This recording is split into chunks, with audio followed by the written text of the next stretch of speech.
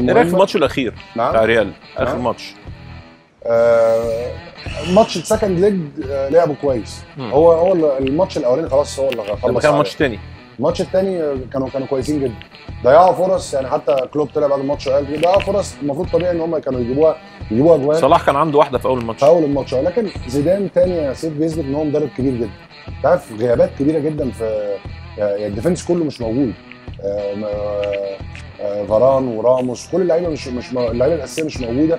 ورغم كده زيدان بيثبت إن هو بيعرف إزاي يدير الماتشات بتاعت ال knockout.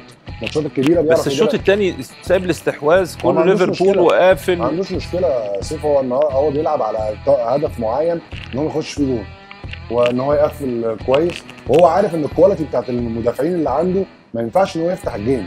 يعني أنت لما يكون عندك مدافعين كويسين يا سيف تقدر إن أنت ممكن تف- تفتح ال game لأن أنت عارف إن أنت ورا مثلا عندك سرعات عندك لعيبة بتعرف تغطي كويس عندها خبرات ما تبيعش نفسها. مم. إن هو عارف ال quality بتاعت اللعيبة اللي بتلعب الماتش ده لازم يحافظ عليهم يحميهم بلعيبة حواليهم عايزه وهو ده ذكاء زيدان إن هو لاعب على ال quality بتاعت لعيبته.